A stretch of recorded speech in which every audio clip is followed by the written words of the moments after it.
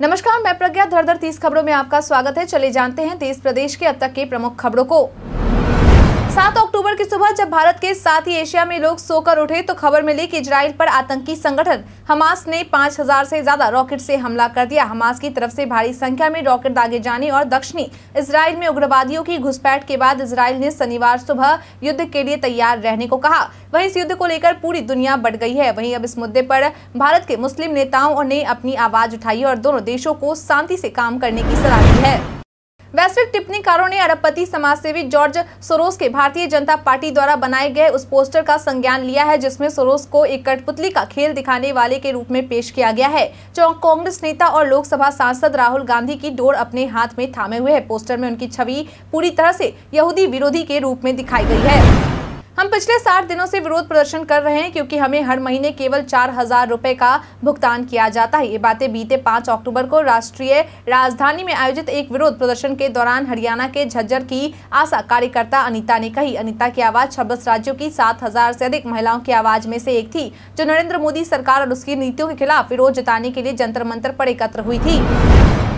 कनाडाई प्रधानमंत्री Justin Trudeau ने एक्स पर पोस्ट किया कि उन्होंने संयुक्त अरब अमीरात के राष्ट्रपति शेख मोहम्मद बिन जायद के साथ भारत में कानून के शासन को बनाए रखने और सम्मान के महत्व पर चर्चा की है। यह उनके उकसावे वाला कदम माना जा रहा है। रविवार को एक पोस्ट में उन्होंने कहा, आज फ़ोन पर महामहिम मोहम्मद बिन जायद और मैंने इसराइल के मौजूदा हालात के बारे में बात की। हमने हमने अपनी गहरी चिंता जताई और नागरिक जीवन की रक्षा की ज़रूरत पर चर्चा की। हमने भारत में कानून के शासन को बनाए रखने और उसका सम्मान करने के महत्व के बारे में भी बात की।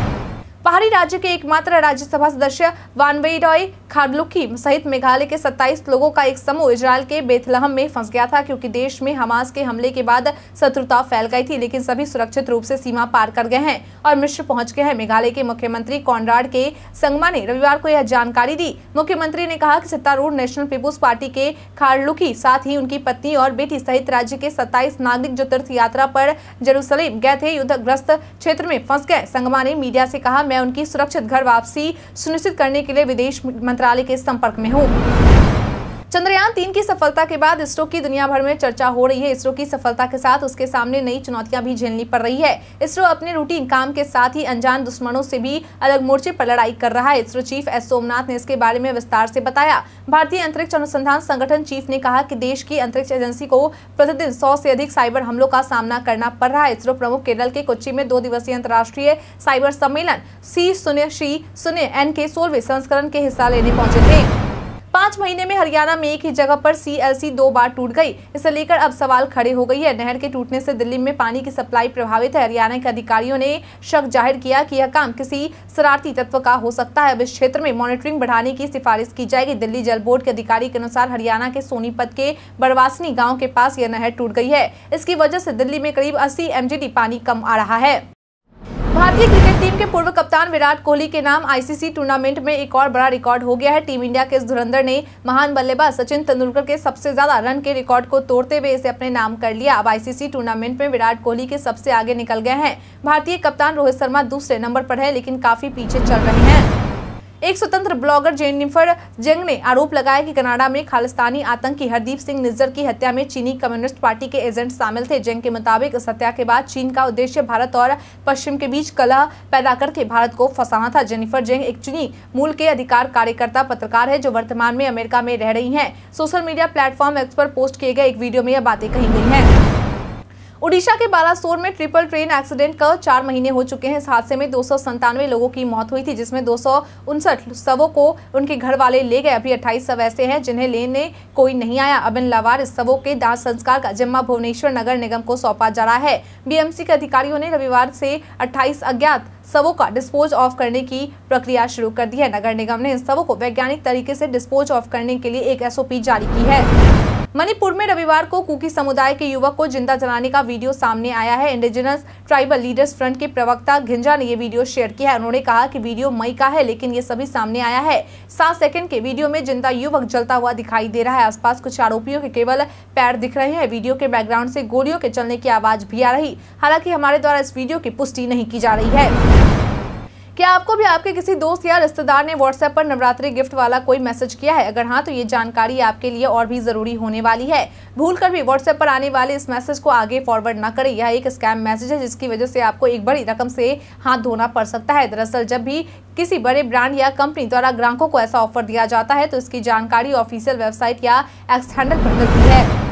भारतीय शेयर बाज़ार की शुरुआत सोमवार को गिरावट के साथ हुई। बाज़ार में गिरावट की वजह हमास का इसराइल के ऊपर हमला करना माना जा रहा है। इस कारण बाज़ार के ज़्यादातर मुख्य सूचकांक गिरावट के साथ कार्य कर रहे हैं। खबर लिखे जाने तक बीएसई सेंसेक्स चार सौ बिरानवे दशमलव दो सात अंक या शून्य दशमलव सात पाँच प्रतिशत गिरकर पैंसठ हज़ार पाँच सौ दस दशमलव तीन चार अंक और निफ्टी एक सौ उनचास दशमलव नौ पाँच अंक या शून्य दशमलव सात छह प्रतिशत गिरकर उन्नीस हज़ार पाँच सौ तीन दशमलव पाँच पाँच अंक पर कारोबार कर रहा है।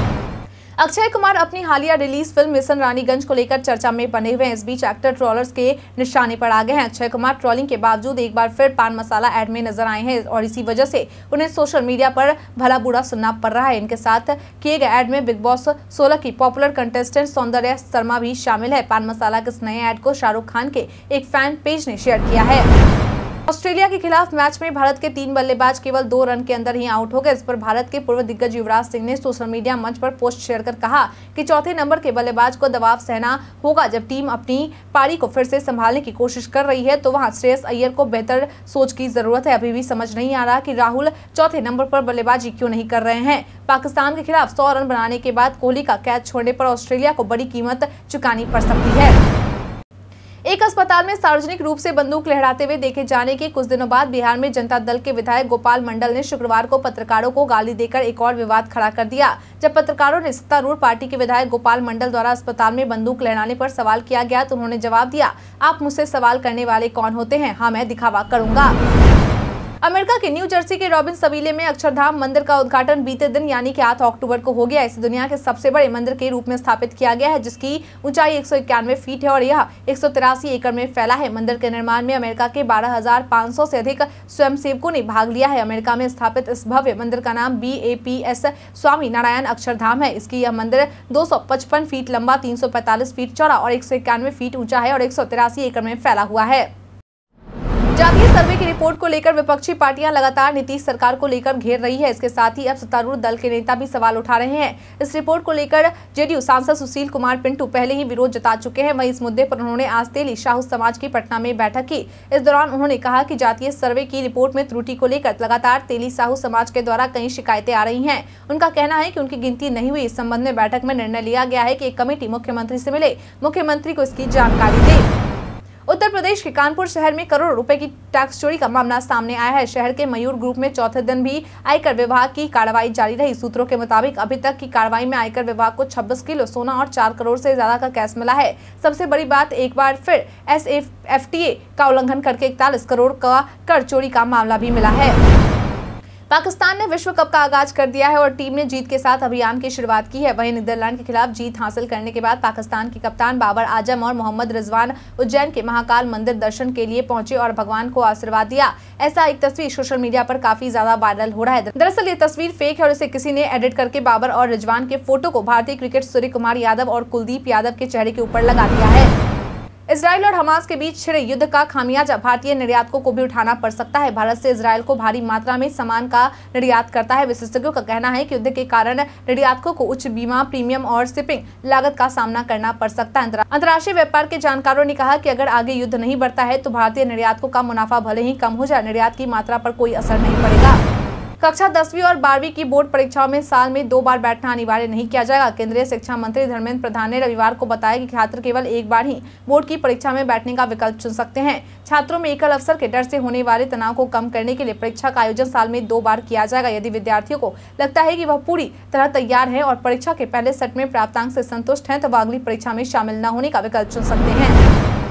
भारत ऑस्ट्रेलिया मैच के दौरान जबरन मैदान में घुसने वाले युवक जारवो उनहत्तर पर आईसीसी ने बैन लगा दिया है। जारवो के इतिहास को देखते हुए आईसीसी ने यह निर्णय लिया कि वो पहले भी कई मौकों पर सुरक्षा घेरे को तोड़ते हुए मैदान पर घुस चुका है।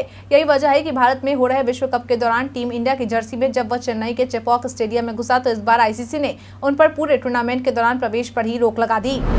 सिकल सेल रोग की गंभीरता को देखते हुए नागरिकों को सरकार इस रोग की जाँच के लिए प्रेरित कर रही है। लोग आसानी से जाँच करा सके। इसके लिए आशा कार्यकर्ताओं को भी सिकल सेल रोग के खिलाफ लड़ाई में जोड़ने पर विचार हो रहा है। रिपोर्ट के अनुसार स्वास्थ्य मंत्रालय सिकल सेल रोग की जाँच के लिए प्रोत्साहन के अलग अलग तरीकों पर विचार कर रही है। जातीय सर्वे को लेकर पूरे देश में घमासान मचा हुआ इस सर्वे की रिपोर्ट पर आरएलजेडी प्रमुख उपेंद्र कुशवाहा सवाल उठाते रहे हैं। उपेंद्र कुशवाहा की प्रतिक्रिया में जेडीयू नेता नीरज कुमार ने उपेंद्र कुशवाहा से संबंधित सर्वे डेटा को उजागर किया है। इस पर उपेंद्र कुशवाहा ने रविवार को कहा कि जेडीयू ने मेरी निजी जानकारी को सार्वजनिक किया है, यह सही नहीं है।